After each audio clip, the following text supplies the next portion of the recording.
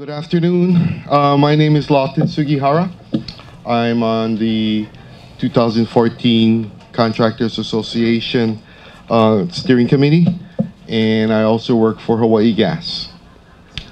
This afternoon, we have Mark Abril and Jen Ekleberry, are both from HPM Building Supply, and will be doing a presentation on the ABCs of bath remodeling. After their presentation, they will be at the HPM booth inside of the hall to take any questions you may have. To show your products, to show you products that they are talking about, and to visit with you about your plans. Mark and Jill will be doing this presentation again tomorrow morning at 11 a.m. Right? Okay. Mark and Jill, Jan, I'm sorry. Yeah, saying Jill, it's Jan. Well, thank you everybody for coming and for allowing us to uh, kind of shed some light on, uh, you know, the art of remodeling, be it the kitchen or the bathroom. Uh, we do have a lot of material to cover, and I'd ask that, you know, we hold uh, your questions until the end, uh, uh, and we can answer them best, okay? Today we're going to talk about, you know, the ABCs of remodeling a bath. You know, there were times that we may be sitting on the library, and we look around and we think, maybe it's time to remodel this. And then we start taking stock of what it is that we want to do. So where do we start? Well, the first thing you do is plan your project. You clearly define what is it that you want to do. In order to do a renovation, you want to make sure that the whole process, the experience that you're going to go through is one that uh, you know you can brag about in the end.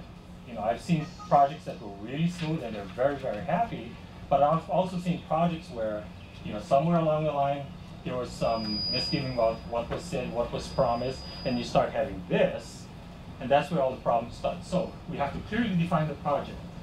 The other thing is we have to decide how much money do we want to spend. Okay? You know, whether we're going to change the fixtures, we're going to remodel the entire bathroom. How much money do we have to spend to do that? Determine a timeline. Okay, when do you want this done? Okay, some people might say, well, whenever. Well, when, whenever is not a good answer because your whenever and his whenever might be two different. Okay, so we have to be clear about when you want it done. Determine who will be doing the work. Now this is perfect because the speaker before us talked about hiring licensed contractors. So we have to be very, very careful about who decide we want to do the work. Okay, do we want it done on time? Do we want it, you know, done the way we want it? Do we need permits? Okay, we got to determine that. And by all means, women, I know you guys love to do this, and I know you like you guys go shopping. Once you decide what it is that you want to do, go shopping, go get ideas. Don't jump into the project. Go get a lot of ideas. Get ideas for the renovation project. You also get ideas on how much it'll cost to do the project. Right? So there'll be no surprises. You you will get a ballpark project and see what is readily readily available or what needs to be ordered. Okay. Based on that, you can determine, you know, your timeline. What's it going to cost? Clearly de define the project. Are we going to redesign the bathroom space? Are we going to install a new uh, bathtub or shower? Are we installing new flooring? Are we going to upgrade our lighting fixtures? Paint the walls? Are we going to design for accessibility? Accessibility means as we age, we got to make provisions for us to utilize that bathroom safely and efficiently, or any combination of all or all of the above. Yeah, that's what redesign is all about. Identify what it is and be real clear about it, because the clearer you are in your mind, the clearer you will be explaining it to whomever you're going to have uh, do the job. How much money do we need to do this project? Part of it is material costs. Part of it is additional freight costs. We're going to hire people. How much labor is it going to uh, cost us? Is it going to be specially designed? Are we going to have to pay a draftsperson or an architect to design the space that we're, we're looking at? Okay, those are all factors that you need to consider. Determine your timeline. How long will it take to complete the project? Some things to take into consideration, planning and consulting. That sometimes takes the longest. Okay? Again, we want to make sure we know exactly what we want. Whatever's on paper, whatever's going into place, it's gotta be the same. Lead time for custom materials, you gotta know that. You want a special shower, special valve, special this, special that, know exactly how long it's gonna take. Okay? Actual construction time, okay, work with your contractor, work with whoever you're, uh, gonna have do that project, come up with a timeline for that, okay? And also inspections. Who will be doing the work? Yourself? A licensed contractor? Are we gonna need a plumber?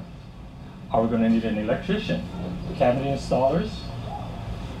Countertop fabricator installers, flooring installers, or painting? Okay? Now, one of the things that we do have at HPM is what we call the Better Builder Directory. What the Better Builder Directory does, it gives you a lead on contractors that you can select from. Now, we've carefully screened a lot of the contractors. Number one, that they're licensed. Number one, that they're, they're you know, uh, they're, they're very reputable people. They do good work. They can be counted on. Um, and of course, you know, they're, they're bondable by us. Go on our website, look at that list. They're listed by trade. They're listed also by trade area. Okay, that'll be a good start for you. Again, the speaker before us talked about hiring a licensed contractor. Okay, so some of you that were here earlier, those are very, very valid points because licensed contractors gotta have all the necessary uh, insurance to make sure that you, Mr. and Mrs. Homer, are not put at risk. Okay, you worked long and hard to own that house, to, to save enough money to renovate that bathroom. You deserve to be protected. So please consider that seriously. Some of the bath, bath renovation ideas. Okay, um, how many of you got, you know, just show of hands, a bathtub? Just a bathtub. How many of you take a bath with it, soak in it? Okay, one hand. Okay, me, I got a bathtub. I wish I didn't. Okay, I'd like to have a shower. Okay. Um, install a larger bathtub. Yes, that, that you like to come home, hard day's work, fill that tub up, you know, soak in it. Um, how many of you, you know, in the morning when you're getting ready, you're fighting for that lav? Or you got kids that they're occupying the other bathroom, you got it, you're already late. By having double lavs, now you both can, you know, uh, get ready independently. Okay? Install a hand shower. I'm a real big believer in installing hand showers. Okay? Uh, in every bath, the reason for that, and the rule in my house anyway, is that whoever's the last to take a shower has to wash the tub and the tub door down and squeegee everything. Okay? because over time you're going to get a buildup of soap scum or water spots and so forth. Just go through the practice, and it takes about 15 seconds to just go ahead and rinse the entire tub and door down. Does this make sense? Additional bathroom storage for beauty supplies, towels, bathroom. How many of us? I mean, we got stuff in there, right? A lot of stuff, but we just don't have enough space to put uh, all that stuff. Okay, those are some of the things you might think about. And of course, Jan, who is our expert designer, I mean, she can work wonders with cabinets by developing additional storage space by being real creative with cabinets and accessories that can expand on a lot of the um, storage capacity of cabinets. Mark, can I interject on that just a minute? Sure. Um, that's another reason for that list is, um, you know, get real specific on what your needs are. So storage is an issue for you, you know, mention that because there are other ways to get things like that done. So, go ahead, Yeah. Thank you. Okay. You know, installing wall cabinets or medicine cabinets or drawer organizers and trays. And, and later on in this presentation, we're going to show you some of those ideas, uh, you know, on slides to, for you to take with you. Pre-planning. We do pre-planning. And I know some of you have done this, whether you're building a new home or uh, doing start with a file with photos, magazine clippings, and ideas that you like as you come across. How many of you have cut out pictures and just kind of paste them in a book and said, okay, when I'm going to talk to my designer, I'm going to flip open this book, and you know what? They don't, they're going to know exactly what I'm talking about. That helps them a lot. Okay. The other thing we advocate is that you make a list of the features that you like about your bathroom now, and what it is that you dislike about that. And only when you can identify those things, then you can identify what it is that you really want and what it is that you want done. When you go to sleep at night, keep a notebook by the side of you, right? Because I know you're gonna jump up and say, you know, I, I got an idea, I'm gonna do this. When you get up in the, the next morning, you say, well, I, I forgot what it, what it was I was thinking about. Does that happen? Okay, so write it down. And again, go shopping. Get ideas for uh, bathtub and showers, bath faucets, cabinets, countertops, flooring, lighting, paint, and bath accessories. All those items that um, you know we're going into renovating your bathroom. We take a look at it. Okay. I hate to say it, but you know sometimes there's a lot of um, websites that you can browse that would also give you ideas. Okay. So now we've done all that. We've made a list, checked it twice, went shopping, we're ready to start, right? We're telling you ready, set, stop. The number one rule with renovation is you do not start the project until you've got everything on site. Now renovation is totally different from a new house. Okay, a new house you've got time, right? You're not living in the house. It doesn't inconvenience you, but a renovation does whether it's the kitchen or the bathroom, how long can you wash dishes in the toilet? How long can you wash dishes in the laundry tray? Every day goes by, you're gonna think about that timeline we talked about. Okay? So make sure that everything is on site before we start. Okay? Cabinets, sorry. You know, sometimes we, we, we, we do the best we can, getting all the designs correct getting the orders in, it comes on time, and sometimes the factories, you know, it's human error, and they'll leave out a piece, uh, piece. And uh, sorry, what bathrooms?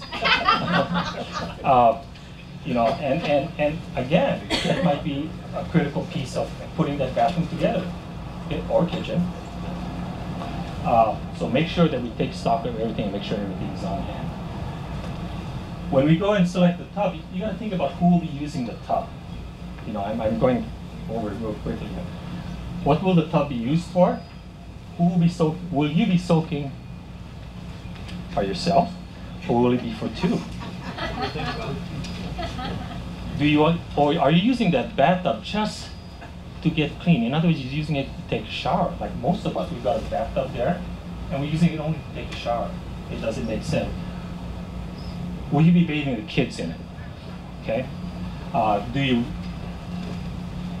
of course, after you answer, ask yourself all that question, you're gonna go, do I really need a tub? Okay.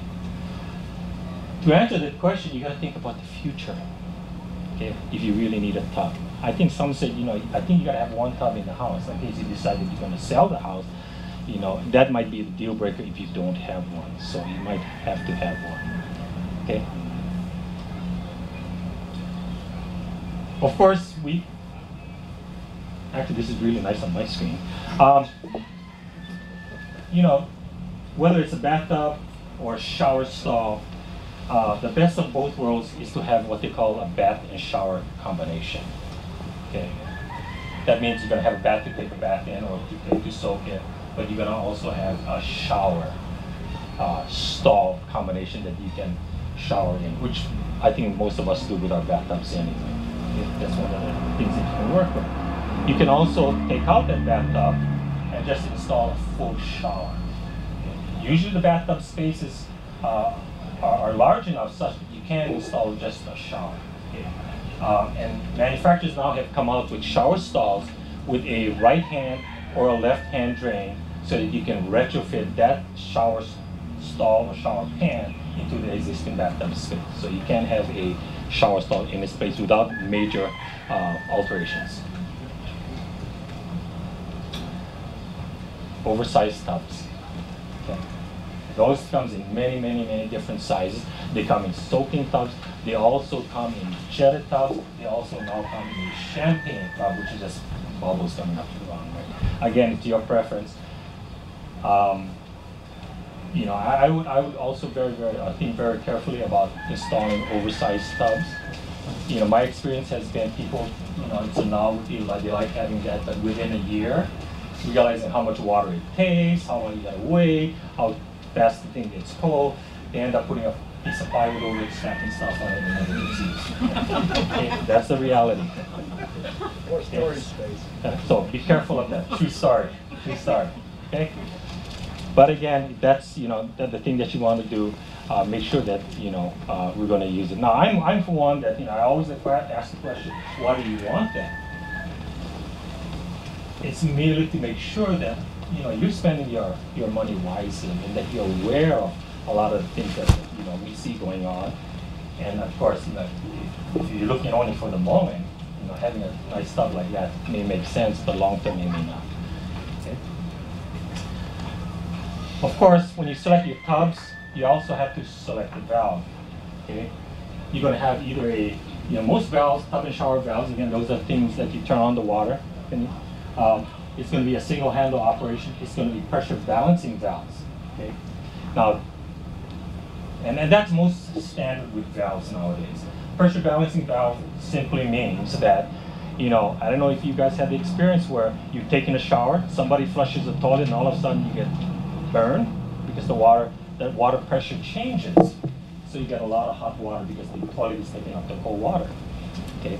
With the new technology nowadays, the pressure balancing valves compensate for that pressure differentials.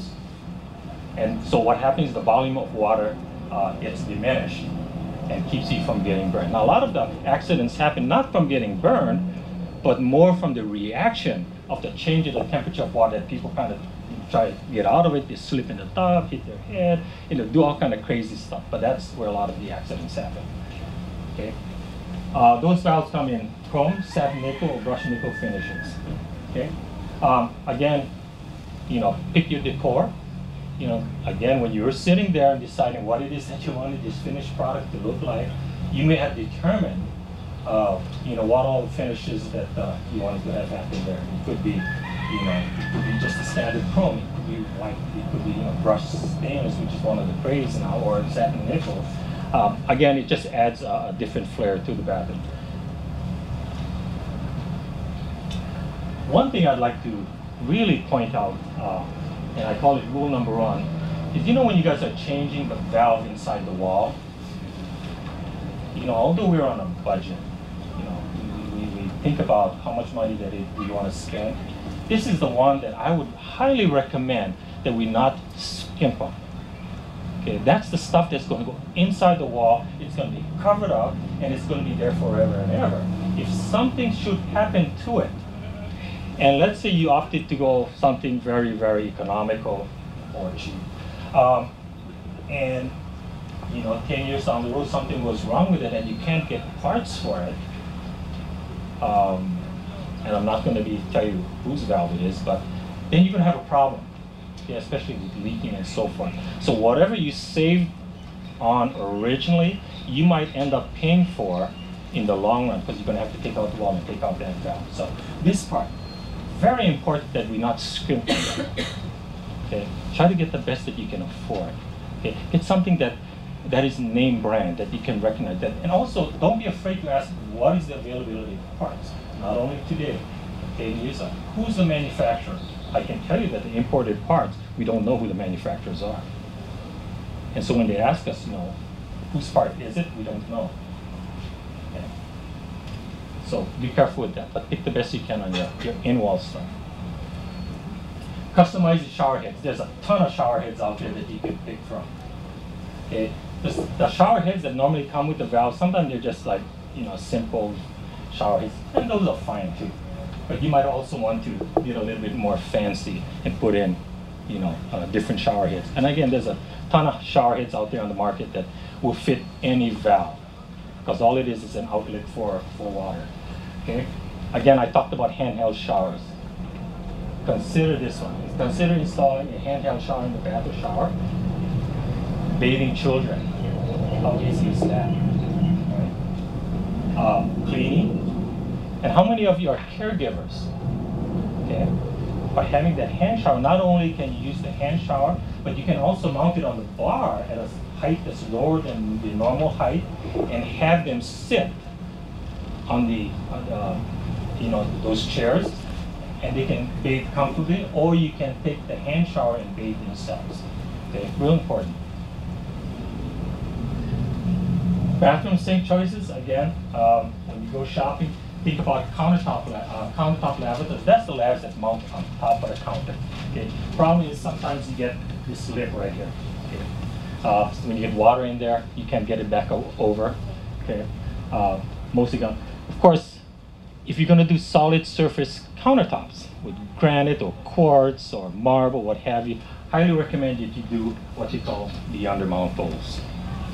Okay, that's the bowls that mount from underneath, you take everything, every, all the water up on top and you just go wipe it right back into. There's no lip, no nothing, it just goes right back in. Okay? Uh, and it looks very, very nice. Okay? More lavatory choices. I mean, one of the crazes right now is vessel lavatory. Those are those glass bowls that sit on top of the countertop. You have to make sure that if that's one of your choices, vessel lavs, that you communicate that to the designer because the cabinets now have to be a little bit lower because you don't want to have a vessel lav on a regular and you're like this trying to use it okay? So we have to communicate. Again making absolutely clear what it is that we want. Uh, taking the pictures pasting it so that your designer can review it with you and again ultimately it's the experience you're going to have during this whole process the worst thing to do again is to go through this process and find out again we because we didn't communicate there was some miscommunication that now all of a sudden this lav is too high so now we got to get a different cabinet or we got to get a different lav. Mark, the other thing about the vessels that I learned the hard Mhm. way because I've had one is that they don't have the, um, the bladder part. So Yes. they don't drain like a regular sink drains. It actually takes a longer time for a vessel to, to drain. That was kind of a disappointment for me when I had one done. Okay. It looked great though. Yeah, yeah. One at a time. Again, uh, for the smaller bathrooms that you don't want to put a cabinet, you just want to sink it there, you can either do what they call a wall hung lavatory or a pedestal lavatory. Again, these things don't allow you to store uh, anything underneath. Okay, you don't have storage space. That means you're going to make provisions for storage someplace else. Okay. How about furniture? It's one of the other ideas. When we say furniture, we start to see uh, it's almost like a throwback. They're starting to use furniture and lavatory tops in tandem to create a certain motif in the bathroom, okay? a certain look. Again, it all comes from planning. You- What do you see? Again, you went through all those magazines and you see these things, and you say, "Whoop, that's what I want," and that's what you're gonna get. Okay, if that's the look that you like. I see that more and more uh, starting to pop up. Lavatory faucets, one handle, two handle, four inch center set, widespread, or single hole. All different choices that you can choose. Again, they all serve the same function. They all have different looks. It all depends on what it is that you want. This is purely personal. Okay, not one function is better than the other. Toilets. Uh, you have your two-piece toilets. You have your round front. Again, round fronts, normally if there's a space restriction that it sticks out too far, then we might opt to go with the round front. You have the elongated two-piece toilet. Two-piece simply means you have a bowl and you have a tank. Separate pieces. Okay, that's and again in most homes that's the standard. Again, when you start to get a little bit fancy, you might get uh, a one-piece toilet. Function-wise, no different. This again is purely personal. But let me share a story about elongated toilets for you. I prefer the elongated toilets. And one of the key questions I would ask, and ladies, you can relate to this. How many boys you got in the family? This village. That's is that absolutely correct. How many times have you gone and have to clean up after them guys? Okay? Elongated toilet solves that problem. Okay? It's about 25 bucks more than a round front toilet, but I tell you what, it's 25 bucks well spent, especially for you, Miss Mrs. Homeowner, who's had to go clean up after your husband and the boys. Um, you deserve to have that. Okay? So we're looking for toilets, please um, consider that highly. Utilize cabinetry to create more space. Again, we talked about you know working within the existing space, maybe from one to two vanities. Okay, or we might want to do a wall-hung vanity cabinet. Okay, where we're creating more space to store stuff. Getting this is what I'm talking about. Getting real creative with your cabinetry. And Jan is really good at that. Okay, talk to her. She's gone through. Actually, she led me to all these different ideas that you, there's there's websites that you can look at and see all of these ideas that you never thought exist, but it can be done. You're only limited by your imagination. Okay. Again, if you can imagine it, do it. Again, here they're taking spaces that, again, that we thought were not usable and creating storage space for it. They're taking cabinetry and creating, getting creative with the accessories of the cabinets and making them very, very useful. Install tall cabinets uh, in the bathroom. Again, we trying to take the existing space and creating more space for storage, more space that we, we, can, we, we can use. And women, you know this, so the more cabinet space you have, the more stuff that we put in it, right? One of the nice things is, uh, you know, uh, having mirrors and medicine cabinets to complement your bathroom. Other ideas for storage solutions. I mean, these are all accessories that can be had. Um, you know, again, your, your drying stuff, uh, power racks, you know, getting creative with your cabinets here. Uh, just holders, you know, a lot of placeholders for knickknacks that normally lying around on the uh, vanity top. We want to get all those things off. Okay. Bath accessories. These I call jewelry off the bath. Okay. All is said and done, you've got the right shower, you've got the right faucet. You want to make sure that your your bath accessories complements everything that you've worked hard to put in there. Women, you know, when you put on jewelry, you don't just put on any one, right? You kind of, oh yeah, match my shoes, or it matches my purse, or yeah, it, it kind of matches. So that's what we do with, with bath accessories. Okay? And they also come in the finishes that match the faucet finishes as well. Don't forget the kids. Okay? They are accessories for the kids. If you do forget, but you involve them in the planning process, trust me, they'll remind you that they're part of this family. So we also need to take them into consideration. So don't forget the kiki.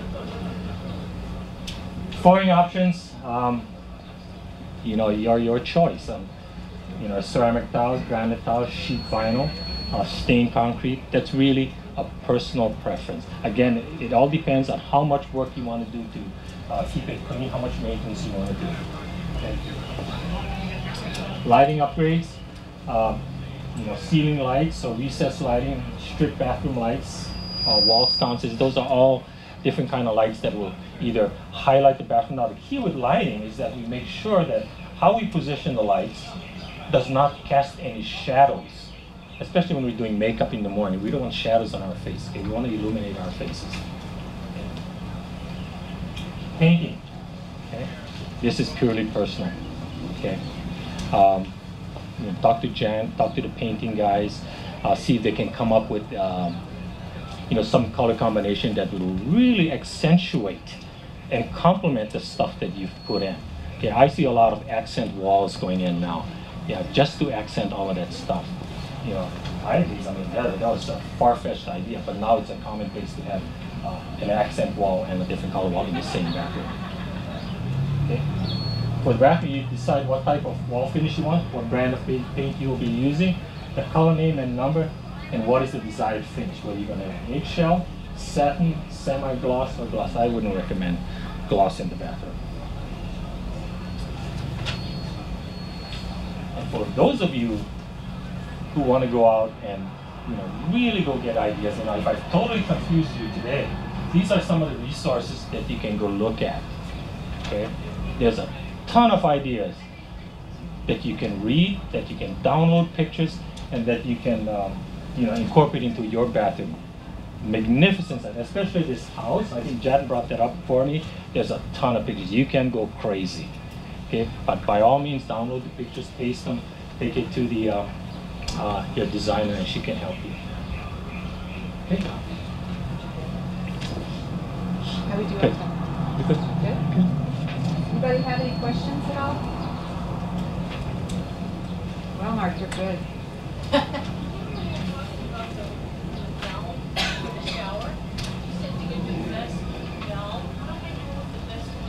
you go to uh, you know like like for example like the uh, wholesale plumbing contract houses and ask them about, you know, or, or you take like, for example, name brands like Kohler, Delta, or American Standard. But if you start to see stuff like, you know, uh, Blue Eagle or, or you know, uh, Bat Time, I would be very, very conscious, uh, wary of those.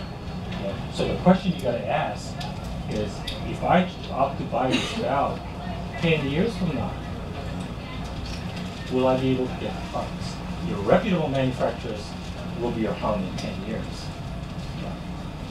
Yeah, the fixtures are really important, I think, to spend a little money on as well, not even just the valves. Make Yeah. sure you don't buy something cheap that's gonna break and I don't want to say cheap. problem. Anything else?